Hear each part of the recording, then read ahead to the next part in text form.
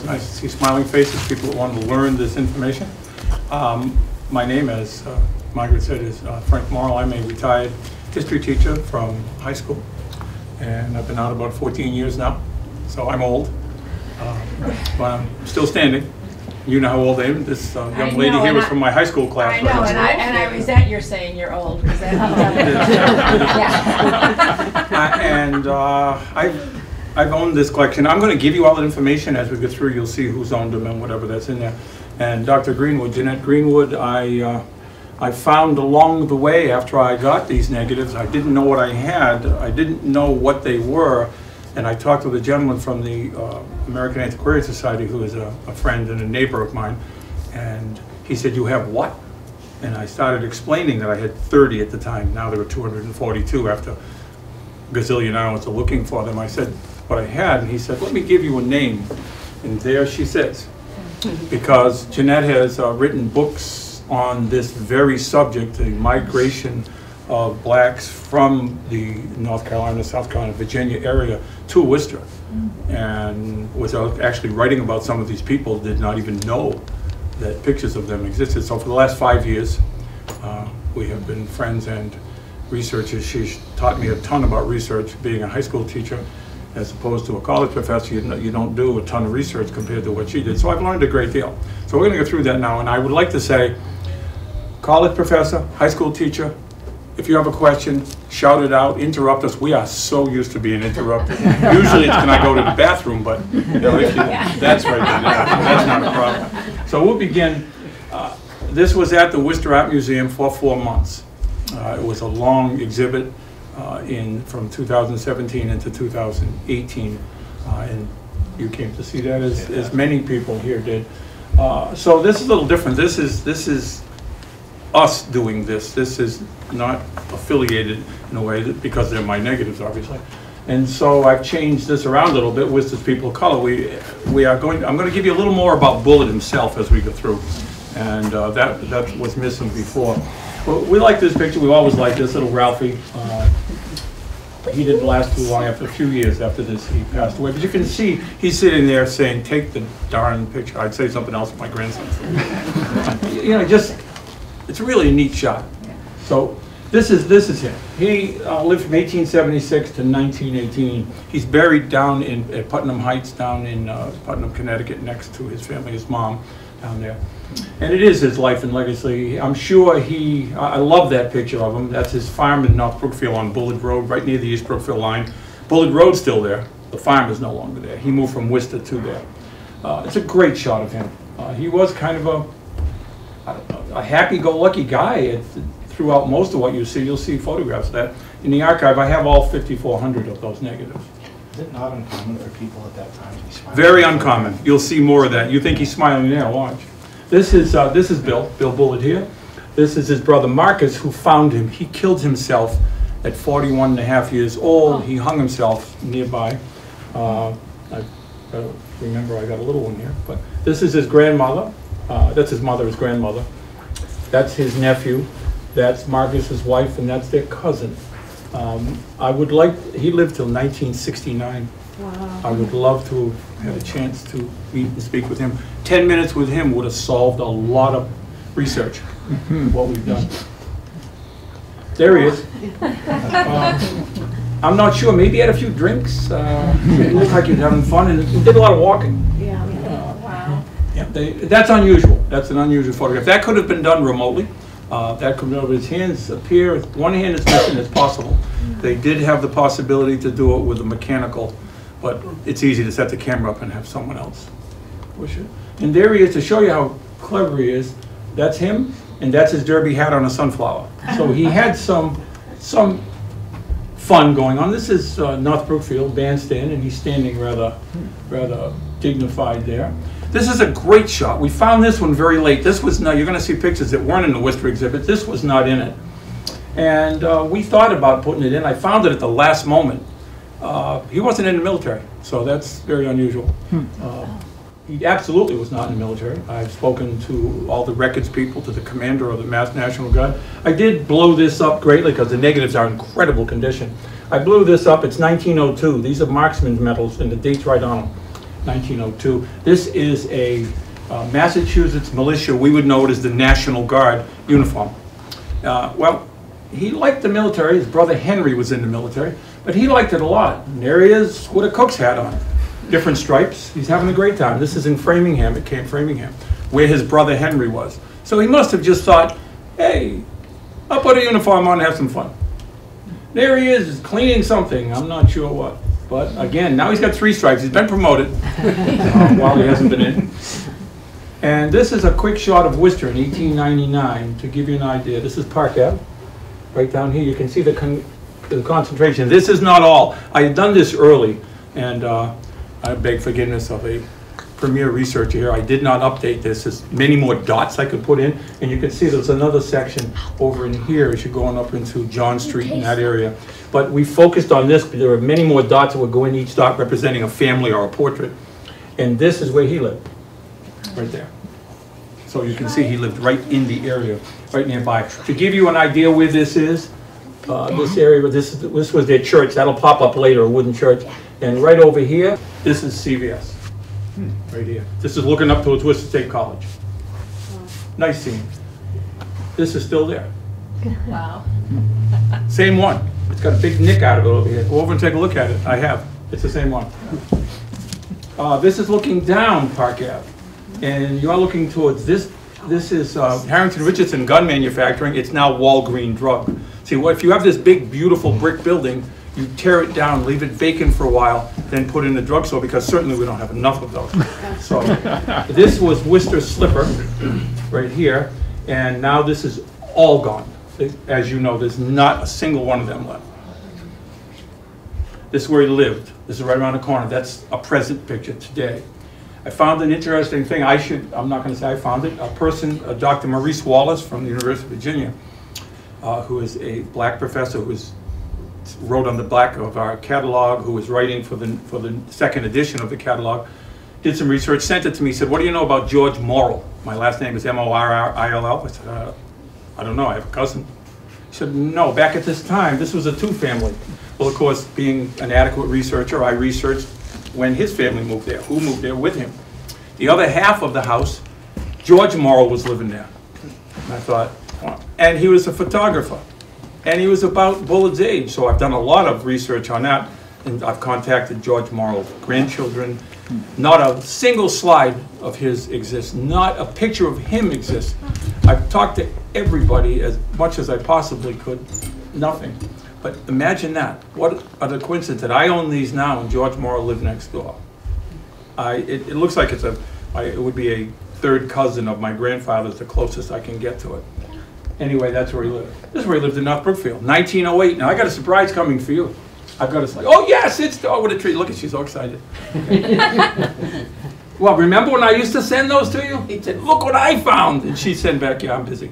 So, uh, kind of like my wife would do, and I'd run up from down cellar, look what I found. She said, supper's ready. but, I, but I'm having fun, right? That's the key. That's, that's a fantastic house right now. It's a hole in the ground. I just awarded her with a brick from the chimney, and you'll see the chimney. There's still some of it left. Okay, that's his home, 1908. Yes. I feel like I'm in school again. Uh, what happened? No, you don't even have to, please, you don't have to raise your hand, just scream out. What happened to the farm? Or do I want to know? Uh, Well, I it's, I, I've got all the deeds, Uh, they kept selling off one lot, one lot, one lot. Uh, There's 22 acres left to the Bullard Farm. Oh, no. Uh, Initially, it looked like it was around 57 acres. It's still on the corner, if you go by it right here, go another 150 feet right here, take a left, go about a three quarters of a mile, that's Brookfield Orchards. Oh, Give you an idea where it is. Okay? Oh, Excuse me, Frank, Sure. Um, I have a question. Well, on that two-family you showed in Worcester, just Mhm. previous, what street was that? That, that used to be Mayfield Street. That's why I couldn't find them. Because what happened about 50 years ago, they said, let's not call that Mayfield Street anymore. Let's take Mayfield Street and move it across the street, what used to be Bradford Street. And then Mayfield Street, let's call that something close to it, Maple Tree Lane. So when I went looking, I couldn't find it. Then I looked in that 1899 map and I said, wait a minute. And I drove back there. So it's, it's that kind, they don't do that often, you know, that kind of a change. Thank you. This is inside that house, that's his study in the house. And the only reason I found that is because I found his grandmother in the kitchen cooking. And then when I looked through the doorway, I found another room, another room, and I said, wait a minute, because he didn't label any of this stuff. So that is absolutely his study. That's his picture of his house that I just showed you, right on the wall. He loved his own work. So he put his own picture on the wall. These are all his pictures. I have all those negatives, they're all on the wall. I looked closely, I blew this up huge with really high resolution. Please, I can read those books, no problem, they're all history books, the annals of American history. I wanted to see a box of negatives, you know, can I see one? No. They stored those in a different spot. This is where he took a picture in the mirror. We have a brick, she now has a brick from this, from that chimney.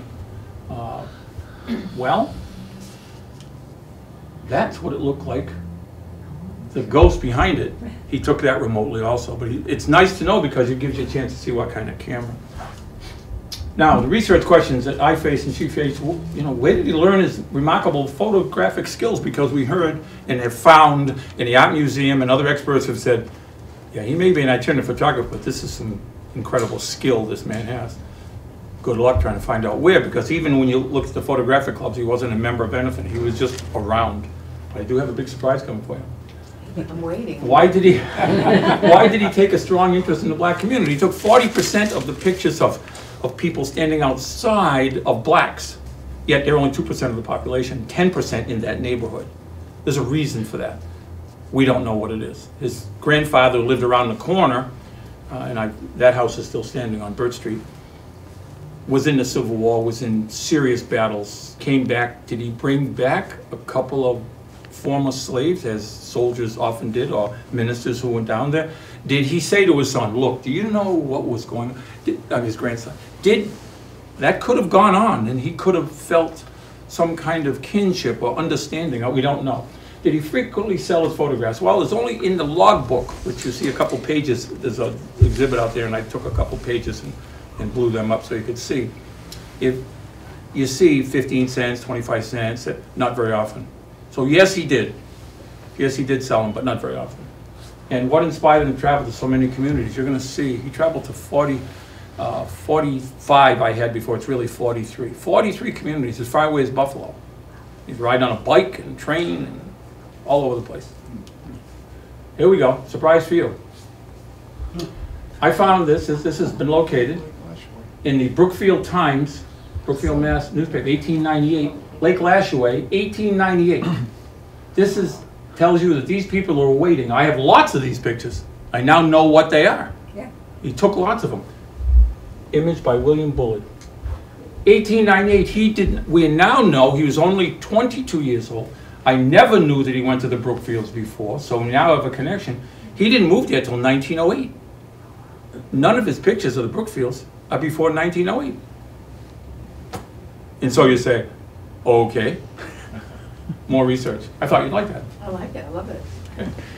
And this is some of the places he went and when he went. I'm not gonna leave it on there very long, but, and I don't know why these are over here. I think they went a little crazy on the bottom, but they're supposed to be over here. And you see the different years. That's just some of the communities. And the one down here, like Middlefield, Bridgewater, Camp Westfield, these, uh, Camp Westfield, there's another one floating on here. Those were all camps, soldiers. He took about 800 pictures of soldiers in all these camps. Great pictures of soldiers training. Some, all the tents, I mean, they have phenomenal pictures. And that's his first picture right up there. He was 18. It's in Newport, Rhode Island. And, and I have that negative, obviously, that's the first one, it's, it's in the logbook. It- And so these are the interests. He took 50 pictures, I don't know if you've seen this or not, but 50 pictures of, uh, with trolleys in them. I, I pulled them all, I have them in a separate album now.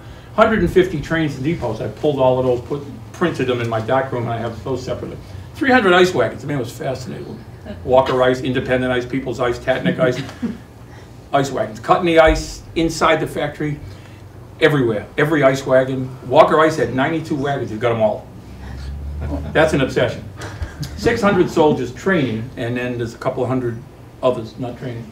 242 African American, Native American, because I meant to say that along with some, there was a mixture, Janette will be talking about that later. He was also a school photographer in North Brookfield and East Brookfield. Took a number of school photos in Holden and Worcester. He was really good in Holden because he was able to uh, tell me the teacher, where the school was, but I don't know if kids, but you could find a lot of that. He really listed those. Not so in Worcester. I've spoken to people, like the gentleman I hope would be here tonight, we'll talk about him later, who I bought the negatives from. His grandmother and grandfather had their picture taken while in school, and it was his grand, when they were young kids, his grandfather's the one that ended up buying the collection. And he actually himself knew Bill and had his picture taken as a, as a little kid. And this is his death, after he died, this is his, uh, the, the certificate of death, North Brookfield. I put that on there for a reason, because back in those days, they were very, you know how we're technologically inclined? Look at this. What test confirmed his diagnosis, the doctors, that he hung himself? He viewed it. Yeah, that pretty much shows you that he hung himself. That actually what he wrote. He just viewed it. Nothing else. So, you know, you want more, but it's all you're getting. And he was hanging for three weeks before they found him. So he died, uh, he wasn't working the last year, the last six months. There's no evidence that he took pictures. Died in April of 1918, and he was uh, very much, uh, according to the newspaper accounts, very much despondent. Uh, Right here, you can see. Body was found by his two brothers and one other man who's not listed here. Oh. Dale, I'm trying to think of his last name. He, one other man was there. The man who sold me the photographs was friendly with the, he's still living, the grandson of the guy that found him. And I've spoken with him on the phone, he's an attorney. He's up in age now, because this was 1918. And uh, I haven't met up with him yet, but anyway, his, his mother had died. He was always living with his mother since birth. Uh, He never married, and so that was tough for him. And then despondent because of ill health, and that's what took him down into his grave, down. And here's what happened to him. He kept him for 24 years because he took him. They went in the back shed at that house in North Brookfield. And then this brother, Charlie, who he took lots of pictures of, lots of farm pictures, lots of family pictures, over 120 of his family and everything surrounding, picking fruit and all kinds of stuff. Charlie uh, wasn't interested in photography, so they just sat there for 40 years. And this guy who had his picture taken by him, when he was a little kid, kept bugging him. He was his postman. This man was a postman and kept going there. Finally, as Charlie got old, he said, fine, I'll sell him to you. So he moved him to East Brookfield. And his grandson, this is Dennis, who I bought him from, lived with him. So after he passed away, he had the house. So they stayed for 45 years in that house. 40 years in that house, 45 years in that house, and now 16 years in my house. That, sum it up for you quickly. That's my granddaughter, and that's the discovery. How do we discover I even had these? He said, I'd like to sell you all these negatives. You're using them all the time, you're printing them, you should have them. I said, fine, I'll take all of these. He said, well, you have to take them all. I said, well, I don't want to buy the, the uh, portraits, you know, the old, old, hundreds of boxes. I don't really want the portraits. You don't know who they are. All right, fine, I'll buy them all, I put them on a shelf. And that was 2003. 10 years later, in 2013, I'm working with my granddaughter, who's now going to be 16 in April. I was working with her, writing the book on Worcester. We've now done three books together. And I said, look through these boxes. Let me go. Most of my boxes were all put away, and they're in archival sleeves, but there's still 50 or 60 floating around that I didn't, I said, not in the portraits. I said, look through boxes, look through these. If you see some streets, some really good stuff, buildings with names, I just wanted to give a practice. She was 10. I wanted to give a practice with that. So she would put them aside, put them aside, and then she'd find one having a, building in it that we could identify and put that, with- maybe we'll put that in the book on Worcester with Dawn. And then she held this one up, right here. And she said, calls me Pip, Pip, Pip, what's this a negative of? And I said, I looked at it in, in a brilliant way, I examined it, and I said, I have no idea. I have no clue what that is. I, I know that it's an African-American woman, a black woman, a colored woman, a Negro. I explained those to her, all the terms. It was a great teaching moment. I explained all of that, and I said, put it aside. I don't know. A long time went by. We were back working on a Charlton book. And she chastised, chastised me, it's down cellar, I do all this, and the negative was still on the way side of my desk. You didn't put this away. I said, yeah, I get to it. So she picks up, she's looking, she says, why is there a number on the back? It's right here, that isn't it, but that's where it is. It's scratched in, really small, and I said, really? I looked, and once again, I thought for a moment, and I said, I have no idea. So I thought for a while, and I said, wait a minute, I have a book, a log book that I got when I bought all this collection.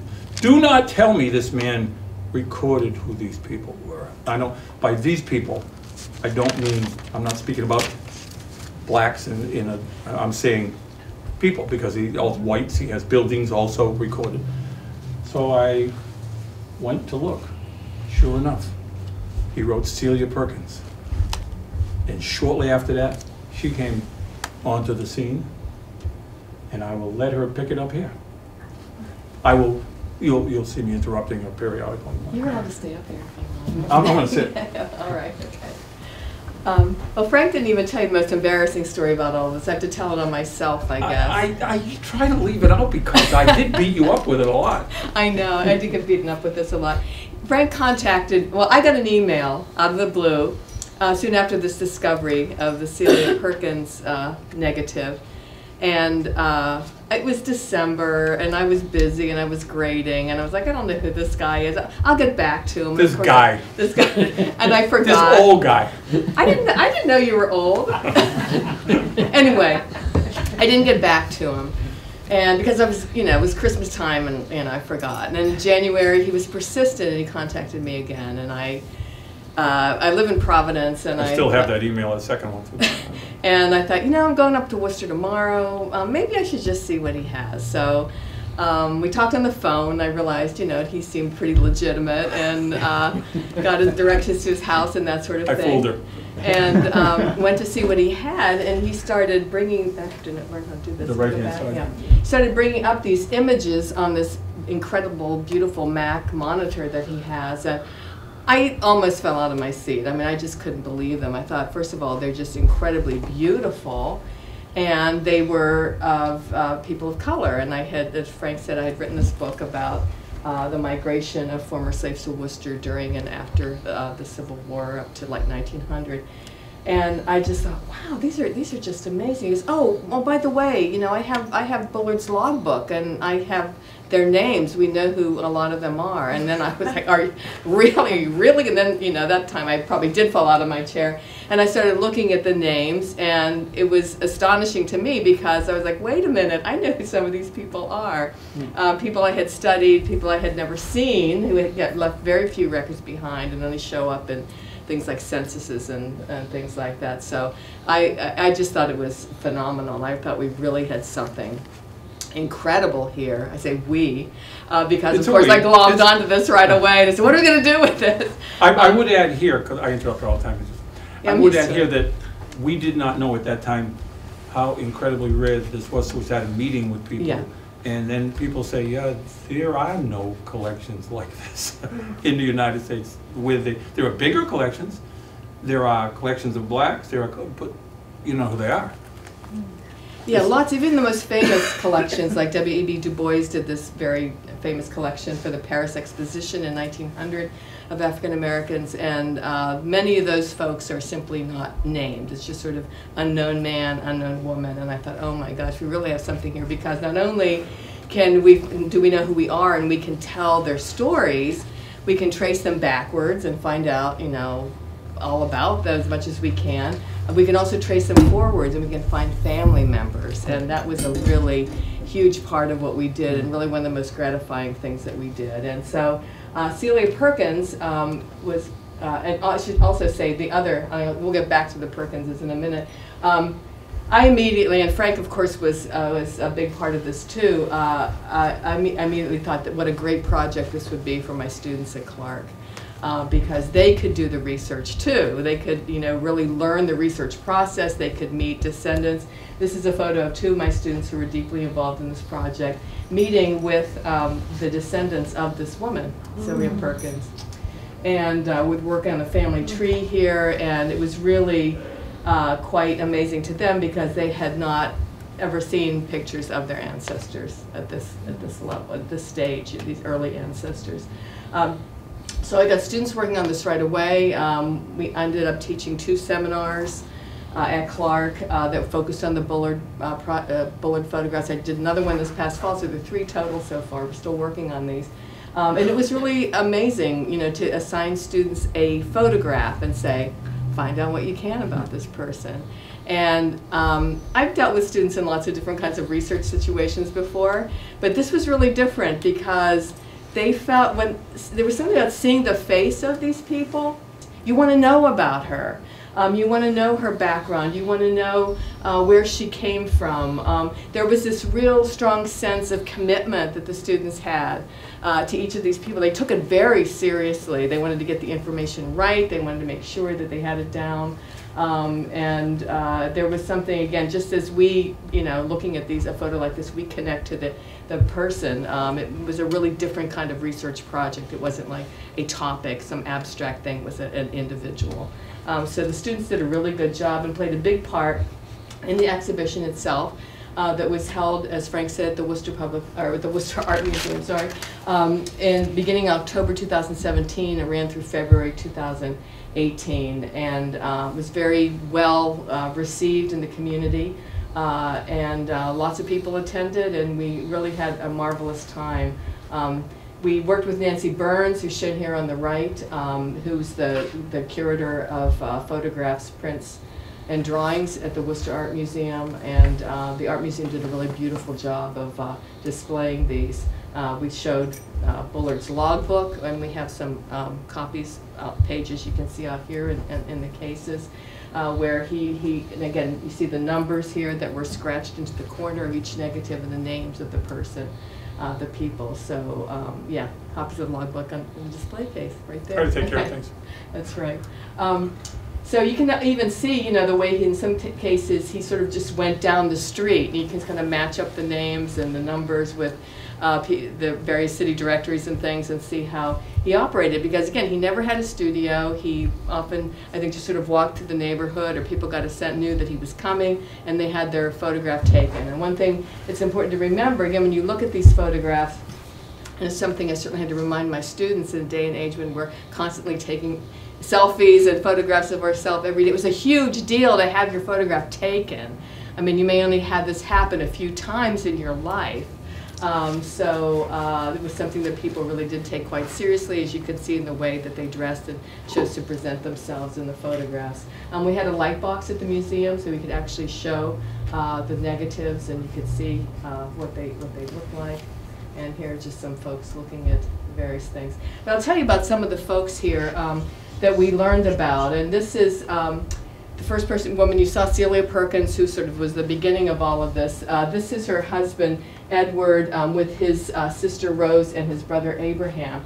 And um, when we began to look, you know, really do research into this uh, family along with so many other people, we just found some amazing stories. And it turns out that this family, the, the Perkinses, um, were actually, um, they had been slaves, had been born into slavery in Camden, South Carolina, and they belonged to uh, Senator and uh, Senator James Chesnut and his wife Mary Boykin Chesnut. Is that Mary Chesnut? Yes. Exact same. Thank you very much. She was yes. the owner, Wow. yeah.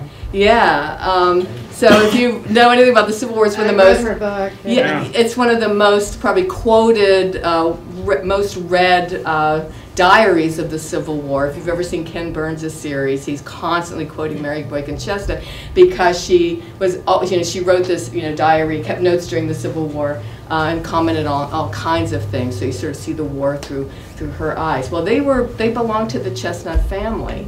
And um, I was able to go to Camden, um, and where I was able to do some research, and I found out, and also through some research um, in the censuses, that they were property owners. Five years after the Civil War in 1870, they already owned something like 200, over 200 acres worth of property. Extremely rare for people coming out of slavery. Um, but their names, again, are in the, the plantation books of James Chesnut, and I was able to, again, find those in Camden, South Carolina. But they, it turns out they actually bought some of the plantation property that was up for sale because the Chesnut family uh, was, or I should say, the uh, yeah, James Chesnut family um, was deeply in debt after the Civil War, as many planters were, and they had to sell off the property. And so uh, the Perkinses managed uh, both, you know, this this group of children, and I should say these are three of 23 children of a, a slave, of, of a, a slave, and then of course a former emancipated slave by the name of King Perkins, who is, has his own incredible story. He was born in 1810. Sorry, no, 18. Let's get it right. 18. 1802, and died in 1912. Right. Wow. 110. Um, So he had a lot of time to have 23 children. He did. I'm, I'm sure several wives at least. Uh, but when he died, he showed up in the Camden paper on the front page. He was very well known in the community. And again, that was another really interesting link because that newspaper article, his obituary confirmed that the family did, you know, did belong to uh, uh, uh, Senator Chesnut and Mary Boykin Chesnut. Um, so they bought land. They were very, again, very unusual. That was the great, deepest desire of all emancipated slaves was to be able to own their own land. They bought plantation land that they had worked on as slaves themselves. They were surrounded by their father king and other family members.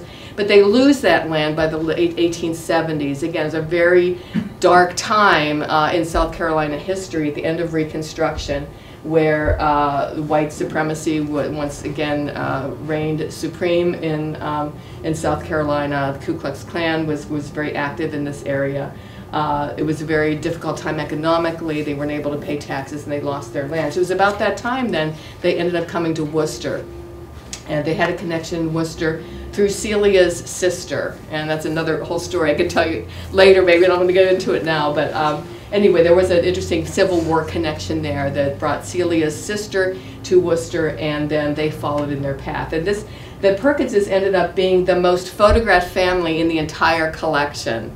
Um, they were photographed over 30 times. This is an extended family There's a lot of them. a lot of them, and they liked having their picture taken. This is one of our favorites of Edward uh, standing in a Cabbage. field of. Does anybody know what this Cabbage. is? That's what I thought it was That's what we too. thought it was, Yeah. no. Think about it from the Is south. colored? That's Collard greens. Collard greens. Exactly. I thought it was cabbage. And we uh, titled this at the uh, exhibition that this was uh, a, a picture of the literal transplantation of Southern culture to Worcester. The property ownership was really important to them. They lost their land in South Carolina, but they were property owners in Worcester, and they actually owned quite a bit of uh, property down in um, the Beaver Brook area. Uh, so the Perkinses, in many ways, represent the sort of stream of people who come from Camden, South Carolina. There were so many people from Camden that this part of Beaver Brook actually got called Little Camden. And I gave a talk down in Big Camden, South Carolina, about a year ago, and they were fascinated by this. And I actually met quite a few people there um, who talked about having relatives in Worcester uh, and that sort of thing. So that was a really interesting kind of uh, highway back and forth between the South and the North uh, at the beginning in the era of the Civil War. Um, there were a lot of folks from North Carolina as well, uh, particularly from New Bern, North Carolina. This is something that I had written about uh, in my book. Um, there were a lot of uh, white soldiers and missionary teachers who were stationed in New Bern, North Carolina during the Civil War from Worcester County, two particular uh, Worcester County regiments. Um, and there were quite a few folks who ended up, I'm going to trip over that, I know. Um, there were quite a few, uh, there were some um, early migrants, former slaves, who ended up coming north with uh, white Worcester soldiers uh, during and after the Civil War. And the Ward family is a very early family that does that. And these are three uh, members of the Ward family, all born here in Worcester, but their mother was from New Bern, North Carolina. Um, and uh, uh, they were, I'm trying to remember their names, Harriet, uh, James Harold, and Clarence Ward. The, the little boy in the center uh, was born in 1900. We, uh, we, there are three pictures of him. One of them is the cutest little thing. He's sitting by himself, and you can see he's drooling now. It's teething. The picture, actually, the negative looks like this. I could lighten these and make them anything I want. This, the family was very, very, very dark. The son, the actual son of that little boy in the middle is still living. We went to visit him in, in, uh, in uh, Washington DC. We went down to visit him, have a, have- he rose from being that little, that little boy's son. He died in 1932 when this man that we know was seven. He's buried, he's buried at uh, Hope Cemetery. And the gentleman rose from North High, humble beginnings, and the one who's still, he's 92 now, not in the best of health now, but 92, still sharp, still ornery. And, and we enjoyed our visit, and he rose up to be executive vice president of Marriott Corporation. Oh, wow. So he he went to Cornell. He did okay out of North High School. Yeah. He told us all about the discrimination he faced in the service, and so it's a direct connection there. It was wonderful to bring that picture to him. Yeah, because he had never seen, never seen a, a picture of his father at, at this age, anyway. Um, there were also folks who came from Virginia. Um, for a long time, we called this photo, and this was it was labeled as such in the uh, in the uh, museum exhibition. Um, we said this, these were the Jackson children, which is what Bullard called them. Um, and one of the great joys about all of this, as Frank has already indicated, is that research keeps unfolding. Um, there was a family member who came um, to this exhibition. Been actually worked with a woman uh, in Worcester, Benetta Kufor, um, who thought that they might be related to her. Um, some of you may know the story of Bethany Veney, who was a, uh, a slave, had been a slave in Virginia. She was uh, purchased by an abolitionist from Providence, and she ends up in Worcester. Um, she writes a story of her life, which you can actually, as a slave, which you can actually read online. Um, and uh, her descendant, Benetta Kufor, said, "Those, you know, that those might be my Bethany Veney's uh, grandchildren. They could be my, you know, great grandmothers. We just couldn't quite, you know, document that. But Benetta's sister came to the exhibition. She says." That's Grandma Lena and Aunt Blanche. I have that picture. Um, so that, you know, was all we needed to know that who in fact they were, and they are in fact the grandchildren of Bethany Veney. Um, this is a photo. This is a beautiful one. In fact, this is one that the museum actually had postcards made of this one. This one and Ralph, the first one you Last, saw. last photograph I found that was used in the exhibit, just before we went to print pictures, I found this one. Um, so not only were people coming from the south to Worcester at this time, African Americans, there were people, African Americans from other parts of the north coming to Worcester to work, mainly for various kinds of jobs. Um, this was Raymond Schuyler, who was born in Troy, New York, and came to Worcester in the 1880s.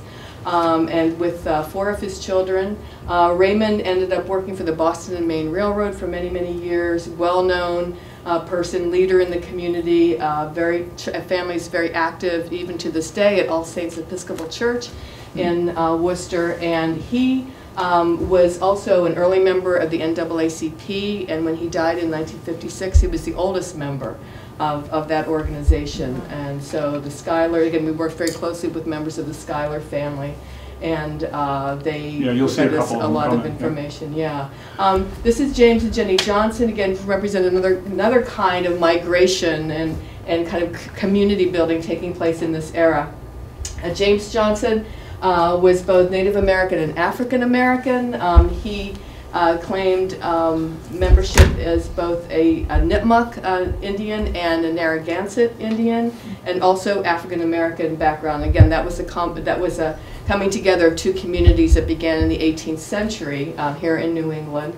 Um, he married uh, a woman from South Carolina, Charleston, uh, Jenny Bradley, and these are their two children. And they're a very interesting family in lots of ways, again, very active in the community. Uh, and a good example of how uh, this sort of dual identity, again, of Native American and African American, that got passed down to subsequent generations. And again, this was a family, uh, descendants we worked with very closely uh, in the exhibition, who again both claim Native American ancestry as well as African American. And James himself uh, was very active, and the family's active in the AME Zion Church, one of the, of the black churches here in Worcester. Um, and he also belonged to a Native American organization called the Heirs of the Narragansett. So again, that dual heritage again was something that was very important. Um, we got a good sense of community life, again, which we were able to research much more deeply, especially through some Boston newspapers that carried a regular Worcester column that gave us a lot of in- indication about what was going on. And this was a tiny community, 1 to 2% of the overall population of Worcester, but extremely active, just many, many clubs, um, three uh, African American churches that were very, very busy uh, doing all kinds of things. Um, uh, this was uh, the Reverend William Perry and his family, who were all Virginia born. Um, he was the pastor of the Bethel AME Church, which was no longer exists, but was in the Beaver Brook neighborhood. I think Frank pointed it out, I think, on the map. You're gonna see it. Oh, okay. There's a picture Are of it coming up. There Oh, it is. there it is, okay. In, in fairness to her, that we've done this talk a number of times, but if I sometimes prepare, or she sometimes prepare, if we don't get together to see, to look at what we prepared, we don't know which ones we stuck in. So I, I put that one in there. Yeah, good, okay. And this is the John Street Church, of course, which is still there. Um, again, founded by former slaves, um, established in the 1880s at that spot. And John Street, again, is another uh, important um, pocket of African Americans in Worcester. Beaver Brook uh, had, you know, again, these were these were integrated neighborhoods. They were never a black neighborhood per se in Worcester. Again, it's a small community. So Beaver Brook was, you know, again, a very diverse community, but had a pocket of African Americans and Native Americans. The other important pocket on the west side of Worcester was around the John Street Church. Many North Carolina and Virginia migrants lived in that area.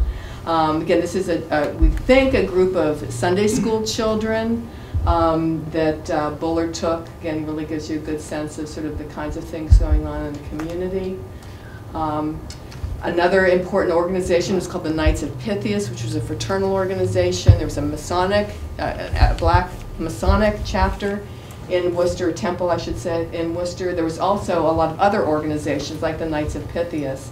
And we really like this photograph because, again, this was an organization that was meant to sort of for self-help and, and, you know, emphasizing, uh, you know, manhood and responsibility and things like that, especially at a time when, you know, black men were under all kinds of attack, uh, you know, in the, in the popular mind this time for, you know, for being criminal and all these other kinds of horrible stereotypes. And we loved about this photo was that this man is posing in his Knights of Pythias uniform, um, holding his, his daughter, we don't know if it's a boy or a girl, but holding his child, you know, it's a kind of unusual combination there. And, then to us, it really uh, meant, it was, again, a very conscious effort on his part um, to emphasize his fatherhood, his responsibility to his child, um, and as being an upstanding member of the community.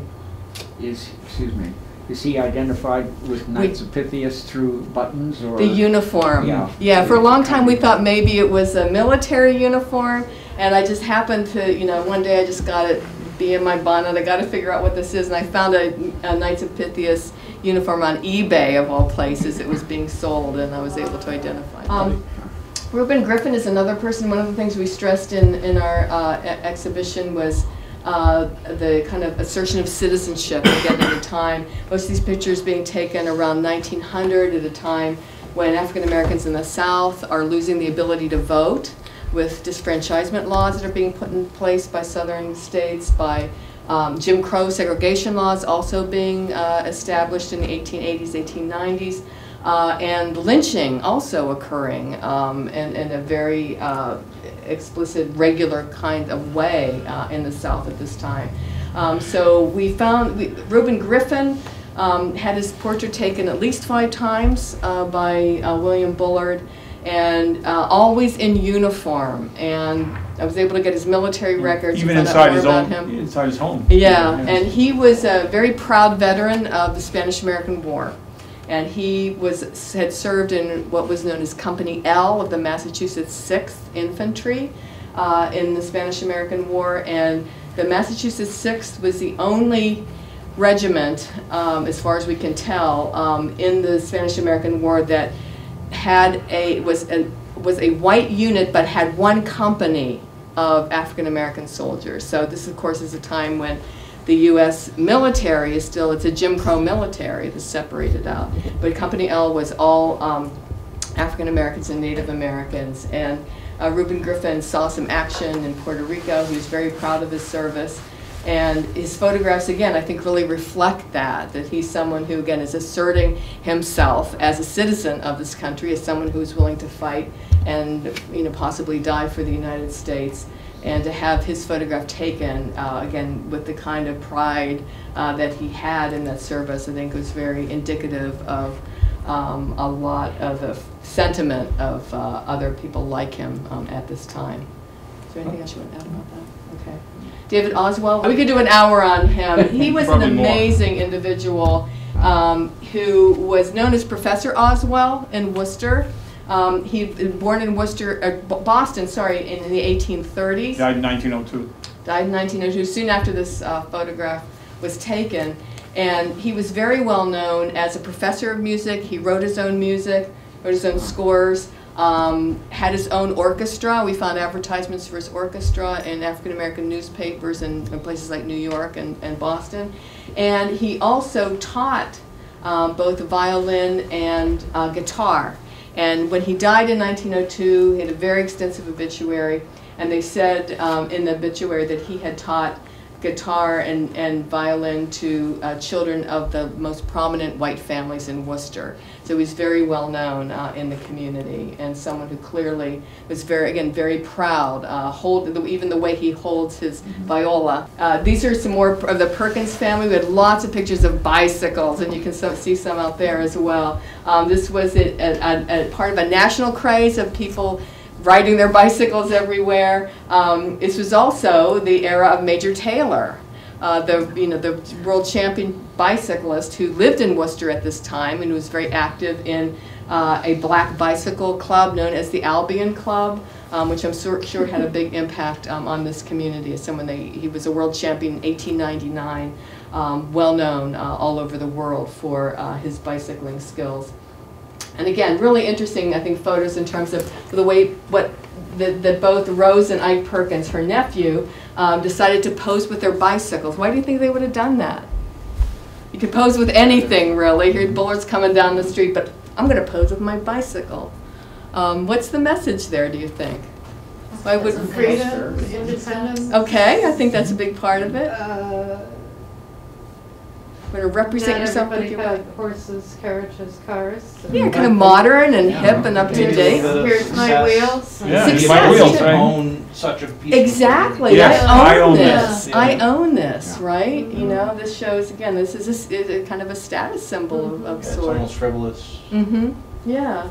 Um, so there quite a few people had their photo taken with bicycles. So um, another uh, prominent family in, in Worcester is a coachman.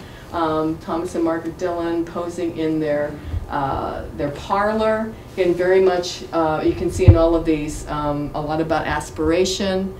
Um, maybe they didn't really have a lot of money, but you know they were gonna they were aspiring certainly to perhaps have more uh, and have more of a, of a place uh, here. Uh, he was a coachman, she was a laundress. Um, again, I think the important emphasis on family here, someone who's obviously very proud uh, father uh, with and, and proud mother with their children. And one thing we really loved about this was the poster in the back. I don't know how well you can see it. Um, but it's for the Worcester Agriculture, Agricultural Fair in 1902, and President Roosevelt uh, had come to Worcester, t- Theodore Roosevelt, and they have that poster in their uh, in their in their parlor. We have pictures of very of various kinds of people at work.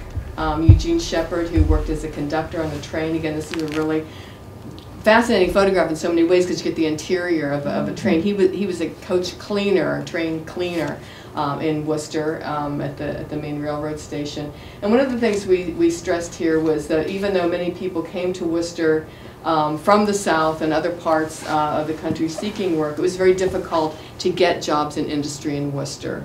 Um, there's a census from 1900 that actually breaks down who's working in various industries in Worcester and breaks them down by race and ethnicity, which is very interesting. And there are very few African American men or women working in Worcester industry. So most of them, most of those jobs are going to European immigrants. The So there neighborhoods were reasonably open, the schools were integrated. Yep. But the, the uh, economic Jobs were not. uh, reality of jobs was domestics, uh, For women, yeah. Cleaning, labor-intensive jobs. Service. Service. Service jobs.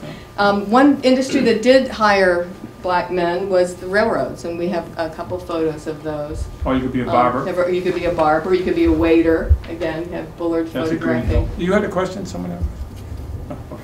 Talking with descendants was the best part of this whole experience, is meeting up with folks, sharing what we had, uh, having them share their family memories with us, um, having them come to see the exhibition and see their ancestors on the wall of the museum. It was really quite exciting. This is Lois Perkins Cato. I, I visited her very early on, again, a descendant of this massive Perkins, Camden Perkins family.